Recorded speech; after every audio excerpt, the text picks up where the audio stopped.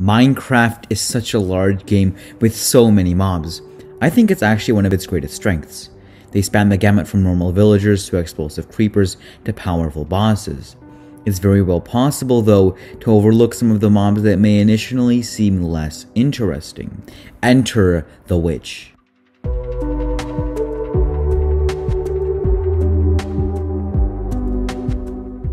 The Witch is a hostile mob and one of the rarer standard enemies as I like to call them. These are the mobs that spawn in the overworld but require no other special conditions to spawn. Nether mobs and mobs like the slime and stray and husk require special conditions like biomes or, or, or different dimensions. The witch is an interesting mob among them though because it's clearly not undead. We know this because it doesn't take extra damage from smite, and no other standard enemy is quite like the witch. Although witches don't have any spawn condition except low light, they are able to spawn in an additional place called a witch hut which generates in swamps. They give us a small insight into a witch's life as it contains equipment like a cauldron and crafting table. It's not really that interesting, but it offers us a clue to the witches. They have a home base. They're not wandering around hopelessly, rather they have a home.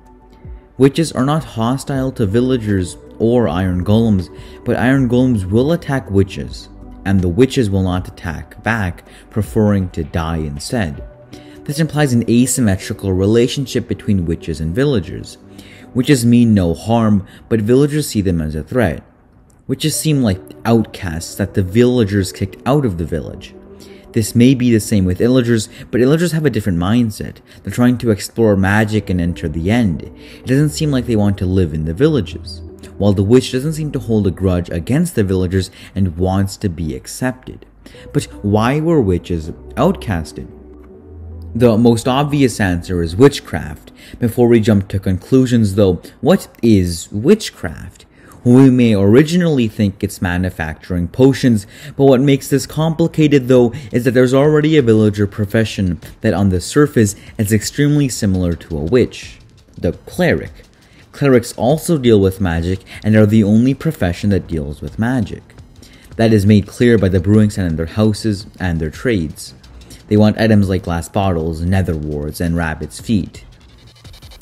This is what I think happened. So we know that the villagers have a problem, and that problem is zombies. They have an iron golem to protect against the zombies, but that doesn't change the fact that they're biologically weak to zombies.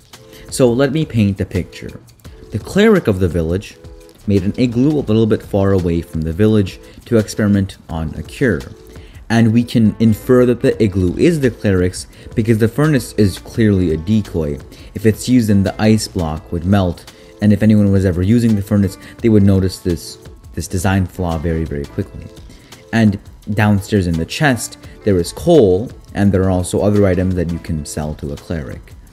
The cleric took every possible precaution and made the lab underground to lessen the chance of a zombie escape.